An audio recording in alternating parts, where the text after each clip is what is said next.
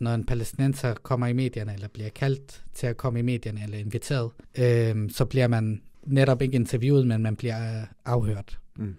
Øh, man sidder til en afhøring, hvor man skal enten tage afstand eller forsvare sig selv, hvor man ikke har det her space, hvor man kan fortælle, komme ud med sine analyser, komme ud med, fortælle sine historier på en, øh, på en normal måde, ligesom alle andre i verden. Mm.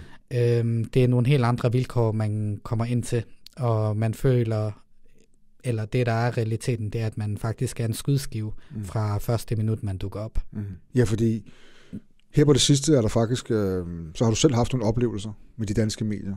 Øh, I forbindelse med, at du stillede op til nogle interviews, øh, hvor du var talsmand for, for stopannektering af Palæstina.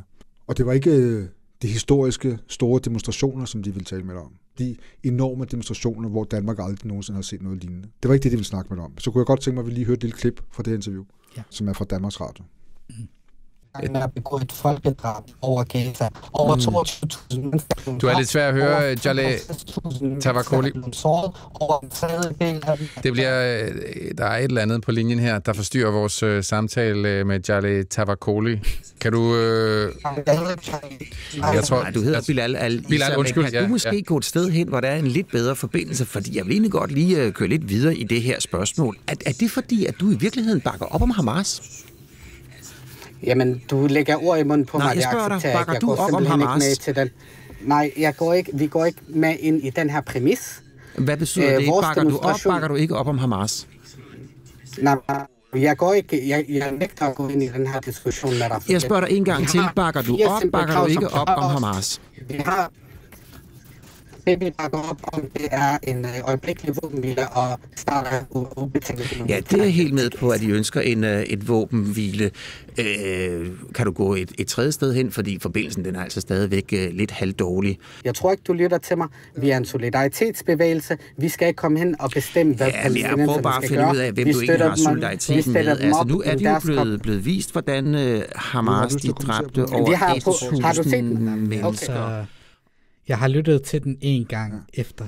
Mm. Øhm, når man sidder i det, ja, man bliver selvfølgelig forarvet over den her form for behandling. Mm. Men da jeg lyttede til det, der gik det virkelig op for mig, hvor sindssygt det egentlig var. Mm. Og når jeg lytter til det igen, det er ret længe siden, jeg har lyttet til det, mm. der bliver jeg sådan, altså det hele skriger i mig, hvad, hvad sker der? Mm. Altså vi er midt i et folkedrab, mm. og der føler en journalist kan sidde med straight face mm. og føle, at det er passende at sige, jamen fordømmer du Hamas? Mm. Jeg fik ikke lov til at forklare, hvorfor at det her det er en forkert præmis mm. at stille, mm. når man som journalist kommer og stiller spørgsmål, jamen fordømmer du Hamas? Mm. Jeg vil gerne svare på det her spørgsmål, og fortælle om, hvorfor det er et problem, når en journalist kommer mm. og spørger, fordømmer du Hamas? Mm. Især når man er tre måneder inde i et folkemord. Mm.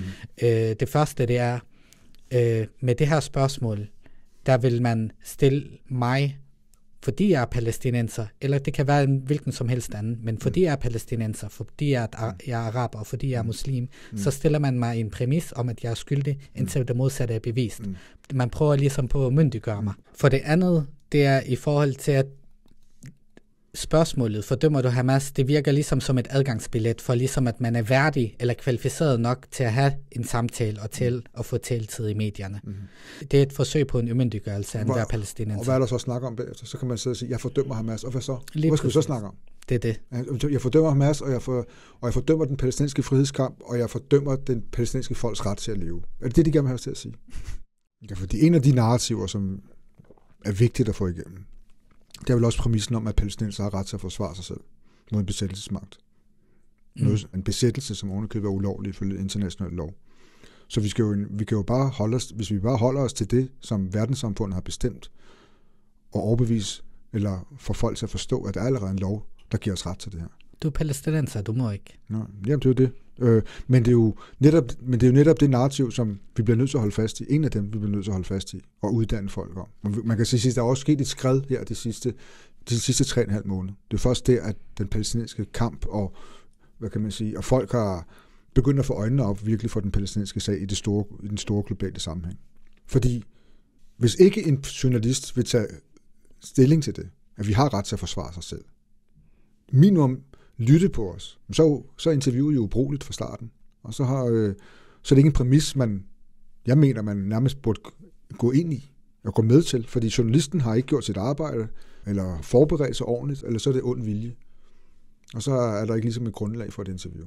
Jamen, de, de, de her to ting, synes jeg også ofte hænger sammen. Mm. Altså, journalisterne, når, når du kigger på, hvilket arbejde de udfører, og i forhold til, hvordan, altså bare i forhold til den heksejagt, der har været på mig. Altså hvis man bare tænkte i to sekunder, mm. man har prøvet at hægte mig i forhold til, at man har portrætteret mig i medierne om, at jeg er en Hamas-støtter. Mm.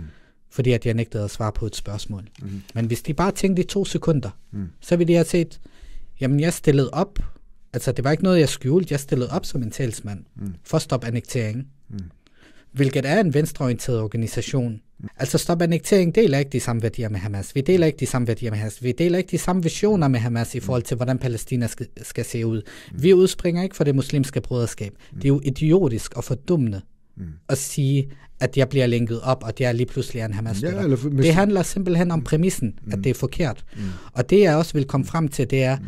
at når en journalist kommer og stiller dig det her spørgsmål, mm og prøver uden at zoome ud og se på, hvad er det, der er på det store billede? Hvad er det, der sker i konteksten? Mm. Hvorfor dykker man ikke ned i, og hvor man prøver indirekte, som jeg har fortalt om, hvor man prøver indirekte at vaske hænderne af de europæiske stormagters rolle mm. i Israels forbrydelse, og det som også sker i forhold til i dag. Mm. Altså Israel, øh, USA, der aktivt støtter, der har flåder lige uden for øh, det besatte Gaza osv., hvis man prøver at vaske hænderne, så skal du også vide, når en journalist kommer og stiller dig det her spørgsmål, fordømmer du Hamas, mm. så skal du vide, at den her journalist, han taler ud fra en racistisk tilgang mm. og uden for en kolonialistisk tilgang. Mm.